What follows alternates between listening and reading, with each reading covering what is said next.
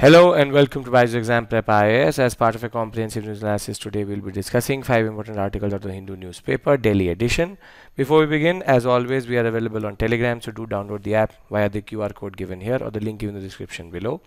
We also have an important episode of International Relations this week, and I would encourage you to subscribe to us on YouTube so that you don't miss any of our videos. Let's begin our analysis with a very interesting article, which is Renewable Energy Revolution Rooted in Agriculture.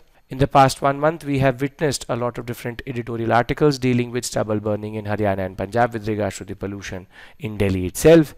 And this is a very interesting article because the authors are from Niti Aayog and the FAO of the UN. And before we go into the nitty-gritty of the article itself, it is very relevant for your GS paper 3. The point the authors are trying to make is that they're giving another important solution to stubble burning in Punjab and Haryana we have seen pelletization, torrefaction. We've also seen a very important article last week which talked about how we need to change the food profile, the crop profile of Punjab and Haryana itself. But what this article is suggesting is the concept of compressed biogas. The concept that compressed biogas can be used for commercial and industrial purposes and can be produced through the stubble which is available in large quantities in Haryana and Punjab. So their solution is to produce compressed biogas and there is an important scheme which they refer to which is important for the examination generally. So the beginning of a renewable energy revolution can be rooted now in agriculture because finally the first bioenergy plant of a private company has been developed in Sangrur district of Punjab on 18th October. So there were a lot of initiatives which the Indian government was taking. However, everybody has realized the potentiality of this new type of concept. Therefore, now we have a private company which is investing into a biogas plant. Therefore, compressed biogas which comes out of the paddy straw can now convert agricultural waste into wealth and also in the context of the current energy crisis this can become an alternative fuel so the first point is for the first time we have a private company which has established a compressed biogas plant. Now before we go into what they are trying to argue, we need to understand how compressed biogas is actually produced. And when we talk about that, you take any form of feedstock livestock waste which is biodegradable. You put it into an anaerobic digester which is decomposition in the absence of oxygen itself anaerobic. Thereafter what we get is digest and you have manure and slurry but the most important biogas because this anaerobic decomposition produces a gas which can then be purified and compressed and then plant transported in cascades for domestic purposes, industrial purposes, for vehicular and even commercial usages. So the basic concept is it's static science and technology. Anaerobic digestion can lead to biogas and compressed biogas is technically nothing but a transportable form of the biogas which is produced in the household sector itself. This is a very ingenious solution and a very important moment. Because if private sector is going to start to invest into this there is a chance that anaerobic digesters and biogas can become a mainstream fuel in that regard.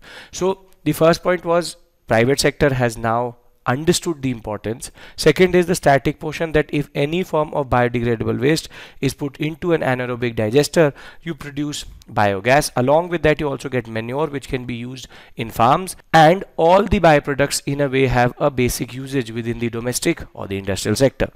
So what is the basic point of the article? The article is trying to argue that we already know that there's a very common practice in Haryana, Punjab and Western UP of stubble burning and there are different solutions which were being looked upon to. So the Niti Aayog therefore approached the Food and Agriculture Organization India in 2019 to see if they could do something with the rice straw and therefore an ex situ solution could be found rather than the in situ solutions which we are being pushing at this point of time. Now the FAO thereafter studied the basic model of developing a crop residual supply chain in Punjab that could allow collection, storage, final use of rice straw for renewable energy itself. And the product of this whole effort was that the FAO and the Niti Aayog came to the conclusion that the techno-economic assessment was that rice straws can be used for two basic purposes and they're cost effective and they are actually possible within the rural sector which is compressed biogas and pellets. Pellets we've discussed already. Pelletization can be used in thermal power plants, but the new solution is use it for compressed biogas and they gave a basic data to us though it's not of any purpose to us. What is more important is the scheme they're referring to, which is out of the 30% rice straw which is produced in Punjab, the current target is to produce 5% of compressed biogas. And the scheme under which this is happening is is extremely important for your examination. Sustainable alternative towards affordable transportation SATAT and this SATAT the stubble burning of paddy along with the larger biomass which is produced in Punjab could be used to produce compressed biogas at a rate of rupees 46 per kg which can then be used for vehicular industrial and home usages. Now this is extremely important. Why? Because if this fuel was very very expensive then it was a more or less futile process. However the fuel isn't inexpensive. It is lower than the compressed natural gas which we are using as of right now. Therefore paddy straw from one acre of crop can yield energy output worth more than 17,000 rupees, an addition of more than 30% to the main output of grain. This initiative is the ideal example of wealth for waste approach and circular economy, which is that the waste is produced into energy and that energy in turn is also producing waste. The concept of circular economy within the rural sector. Now, with this, you need to also understand the other benefits, which is that it allows for the slurry and fermented organic manure from the plant to be used in replenishing soil fertility because of the organic matter which is available in the slurry itself. Chemical fertilizers can be replaced and this slurry can be used as an alternative to fertilizers. Also, it provides employment to the rural youth because large value chain needs to be created in which paddy harvest, collection, baling, transportation and handling needs to happen. Therefore, there needs to be a supply chain which needs to be created, which in turn leads to employment opportunities. At the end of the day, this can boost the economy of Punjab, be it Punjab, be it Haryana, be it any state, and it will at the end of the day create a lot of economic development because any economy will be boosted by a supply chain of raw material moving towards plants and which is in turn producing energy. So it's an interesting topic, small topic, but interesting because at the end of the day, we need to know these basic schemes, the usages because the questions can come about benefits. They can talk about the concept of biogas itself. So I hope that you understand this topic very clearly. Now let's look at the second article which deals with the Lancet report on health and fossil fuels. The Lancet, a very important medical journal, has pointed out that there's an economic cost for climate change itself. It's talking about fossil fuel burning, extreme events related to heat, and heat exposure in turn having an economic cost because people are not able to work in their full capacity in that regard. So therefore, the Lancet report is arguing that climate change has an economic cost and though the data itself has no purpose to us, the issues which have been pointed out in the article are very important. So what does the report point out? The report as it is titled the Lancet Countdown on Health and Climate Change, Health at the Mercy of Fossil Fuels, has pointed out that close to 3 lakh 30,000 people died in India due to exposure to particulate matter from fossil fuel combustion in 2020 and this is a very important aspect that PM 2.5 and PM 10 are doing major damage and 3 lakh people died because of just lung related or particulate matter related diseases. The report adds on from 2000 to 2004 and 2017 to 2021 heat related deaths increased by 55%. So between this span of four years and four years what we are seeing is that heat exposure is leading to more and more deaths in that regard. 45% of urban centers in india are classified as moderately green or above. So what it means is that only 50%, close to 50% of the cities are called green in the sense that they have some greenery. If not, they are what we call as urban heat pads. And in that sense, they are creating more and more heat exposure to the people because of the cement and the concrete in that sense. Giving an indication of the economic loss which all this heat exposure produces. The report states that in 2021, Indians lost close to 16,720 crore potential labor hours due to heat exposure which is equivalent to about 5.4% of the national GDP. So when we talk about the economic cost we are losing 5% of the GDP because of the fact that people are not able to work outside Therefore, heat exposure is also leading to death and over and above that it is also the reason for people not working to their capacity.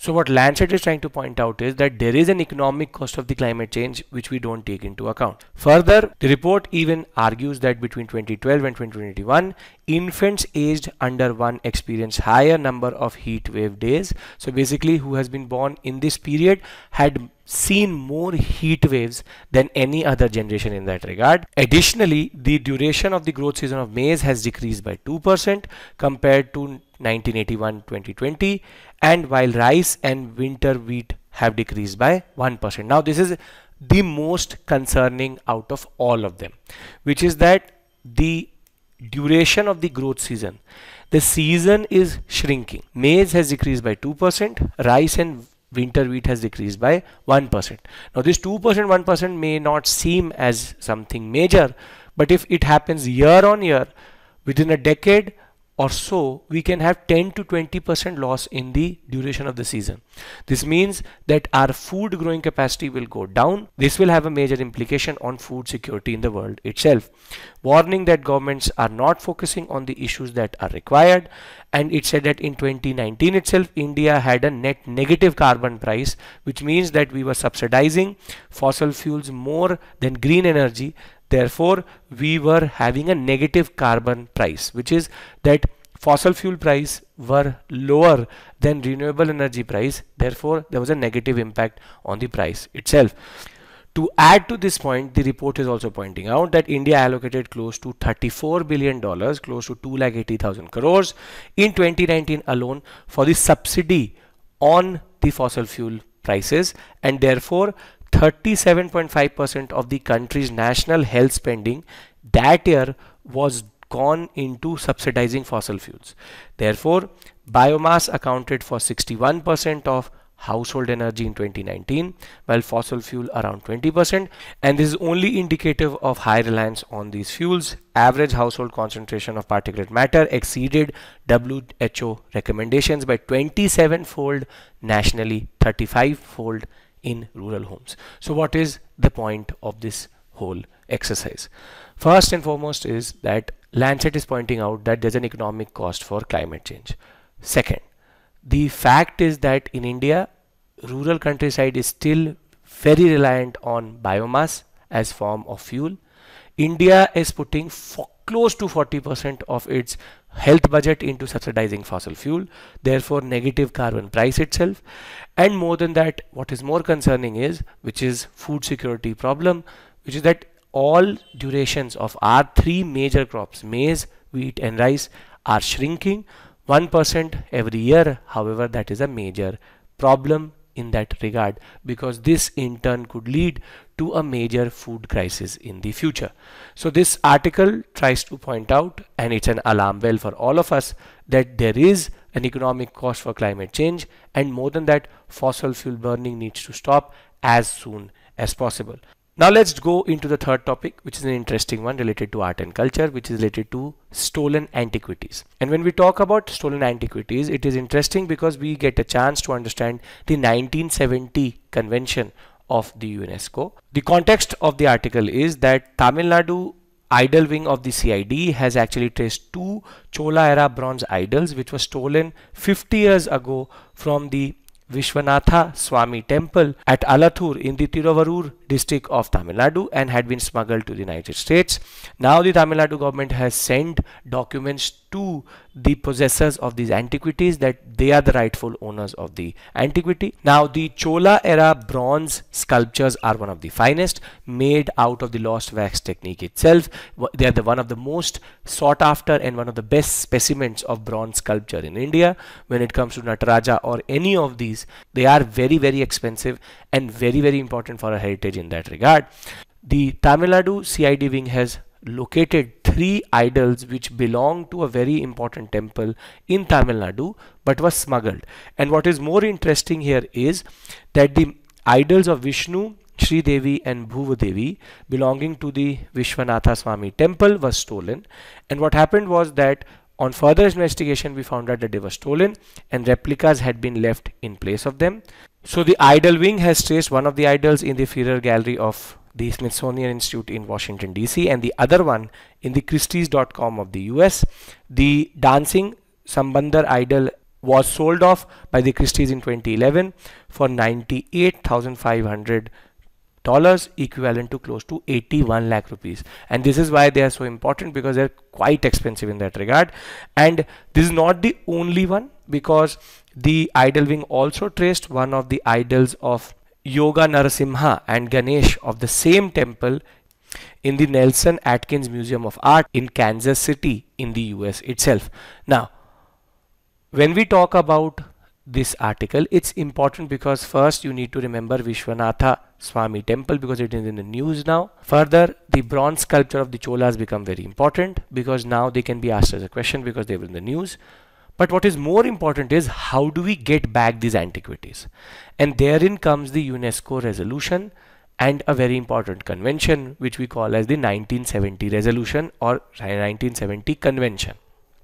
So before I move on to the convention itself which is the static portion why are we doing this? Because you need to know the temple. You need to understand that a lot of Indian antiquity is being smuggled abroad. They're very expensive. We don't understand and value our own culture and we need to understand the worth of it. When the West can do it, we can also do it in that regard. But the main purpose of doing this is to understand the UNESCO 1970 convention.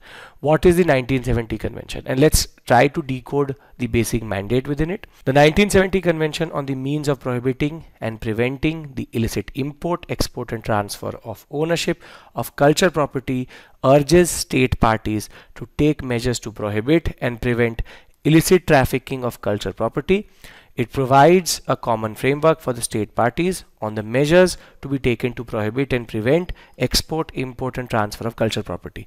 This is the main treaty or main convention which is used to get back and claim that our culture was taken away from us in an illegal way.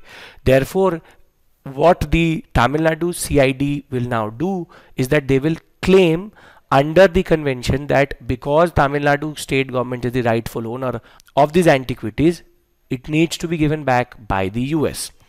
The return and restitution of cultural property is central to the convention and its duty is not only to remember but to fundamentally safeguard the identity of peoples and promote peaceful society whereby the spirit of solidarity will be strengthened. So it also protects the whistleblowers, tell that this idol has reached certain places. Therefore, it's not just about protection and prevention, it's also about restitution, it's also about recovery and return. Thus, the 1970 Convention is fully in line with the Sustainable Development Goal of the United Nations 2030 agenda that cultural identity and cultures need to be protected. So, for the purpose of the examination, 1970 convention becomes important for you because this can come directly as a question in the examination. What is the 1970 convention and what does it deal with? So please understand one thing. The article itself talks about two basic idols being identified having three figures in the US taken from temples from India, a practice which was quite common during the British period and now also there are certain smugglers who do this. Chola era bronze sculpture is extremely important. Loss wax technique used is also very very important. Therefore remember loss wax technique chola era the name of the temple and further the convention itself. So what have we done till this point? We've tried to understand three basic articles. First we understood how stubble burning can be used to generate wealth out of waste which is that basically stubble burning is a wasteful process. Now what the Niti Aayog and FAO are arguing is that stubble can be used through a supply chain for the production of biomass and biogas itself and that biomass could be used in fertilizers and biogas can be used in different aspects related to commercial and home purposes. Thereafter we understood the Lancet report which pointed out that there is an economic cost for the climate change. Heat exposure is becoming a problem. Over and above that seasons and durations are reducing and India is still quite reliant on the concept of biomass for energy and the PM levels are at an alarming level of 27 fold and 35 fold higher than what the WHO actually prescribes. This was more about the concept of art and culture. The conservation and protection of certain antiquities the fact that indian antiquities are very very popular abroad and therefore we need to protect them and the 1970s convention in a way tries to make sure that conservation happens but also restitution and recovery is also possible now let's move to the next article which is a very interesting one because the newspaper is talking about the television and this is related to social issues and fake news. So basically what the article is trying to point out three very basic conclusions. First is that less number of people are reading newspapers. People are getting their news out of social media. And third, even though people know that basically they can't trust television for news, still it is the most dominant source of news in India. So it's a paradox. Basically people know they can't trust it but they still watch it. So Indian news consumers trust in private TV news channels is relatively much lower than their belief in newspapers yet television continues to be the dominant news source. So they know that the newspaper is more reliant. However they will still go to the television to get their news. Notably, their trust in online news websites is lower than even the private channels, while the former is the third preferred source for accessing news after news channels in the smartphone era itself despite the fact that newspapers are becoming more and more irrelevant in the digital age people are going to online websites for news but they don't trust it. They trust it the least when it comes to newspapers and television. But television which cannot be trusted is the biggest source. And we'll go through these tables to understand this. Very simply what is being pointed out is that first people don't trust television when it comes to the news which is being given but they go to it as a dominant source. People don't trust online news websites though it is the third most important source in the smartphone era. And the most reliant is newspaper but the least amount of people actually read newspapers. And this is the basic point of this article. So let's try to decode this concept.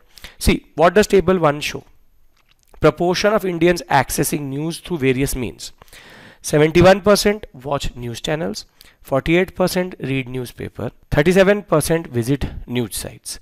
So when it comes to accessing news through various sources, 70% of consumers said that they watch news channels, 48% newspaper, 37% which is online website. Now this is a very concerning aspect if you look at the next table which is through which medium do you mostly get or obtain your news? Television 42 6% news 1% radio. So newspaper 6% 1% radio 22% internet 18% people. Now dominant news sources amongst the participants 40% said TV 22% said new media 6 and 1% said that they actually went to newspaper and radio. And this is the concerning aspect. So the first and the second table show a very very dangerous trend which is that 70% look at the news channels 48% read the newspaper 37% visit the website to consume news.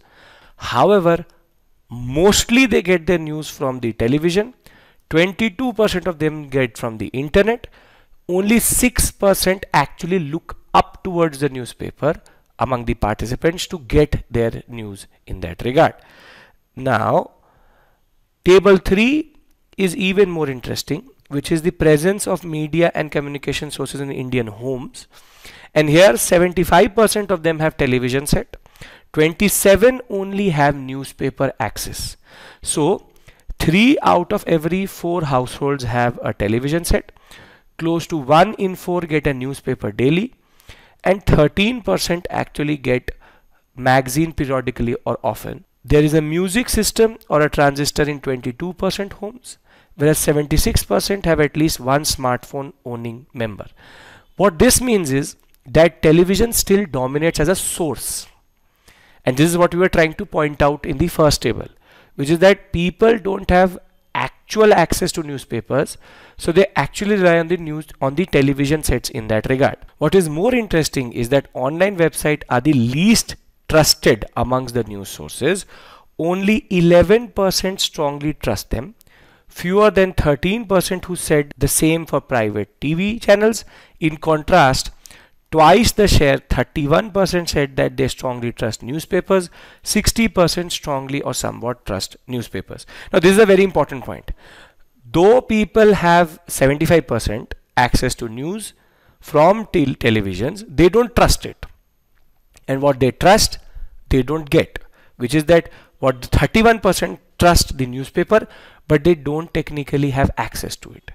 This is the bigger issue which we are trying to point out through this article which is that the source which is available to everybody is the most unreliable on the other hand the most reliable source is technically not accessed by everybody else and this is why this article becomes important because this allows for fake news and people to be manipulated by different sources in that regard. With this, let's enter the last article which deals with exports with China. And there's an encouraging story coming out which is that our export to China and its growth is now exceeding the import growth from China, which is India's trade equation with China has been improving in the recent years with outbound shipments rising faster than imports whose growth is being driven largely by vital raw material and to meet high demand for high growth sectors such as telecom and power. So what they're technically trying to point out is that our exports to China are growing faster than imports from China. And just to quantify this data, China is one of the most important trading partners. The trade flows between the two countries has grown from about 72 billion in 2014-15 to 115 billion in 2022 itself. But what is the encouraging story here is that from 11.9 billion in 2015 India's export to China has risen by 78.1% to 21.25 billion last year while imports which is imports from China stood at 94.16 billion dollars 55% over what it was in 2015 which is 60 billion dollars so our exports are growing at a 80% mark and our imports are growing at a 50% mark. And this is the encouraging aspect in the story that we are exporting to China and at a much faster rate in that regard. And what we're actually importing is intermediary goods, which is a third of India's imports from China, while capital goods is another 19.3% for the telecom and power sector, the most important two sectors for India's growth itself. And just to give you a basic idea of what we're importing from China, electronic components, computer hardware, peripherals, telecom instruments, organic chemicals, industrial machinery for dairy, residual chemicals, allied products, electronic instruments, bulk drugs and intermediates. So mostly it is major machinery which we are getting from China itself.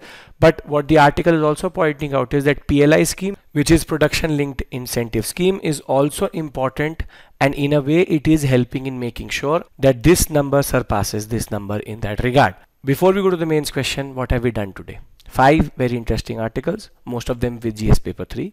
First, we understood the concept of compressed biogas, how it can be a game changer in the industrial and the household sector itself, and how stubble burning, which is a major issue, can be stopped via this concept. Thereafter, we talked about through Lancet's report the cost of climate change, the economic cost of people not working, the fact that heat exposure due to climate change in turn is leading to people not working, and more than that, the duration of maize, wheat, and rice is reducing, the season itself is reducing. Now we need to see this as a very major alarm for our food security.